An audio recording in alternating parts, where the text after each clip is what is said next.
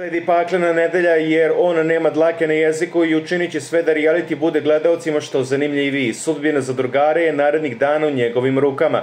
Uroš Stanić, Bojana Pavlović, Anđela Šparavalo i Snežana Kušadasi su noći se borili za opstanak u Bele kući.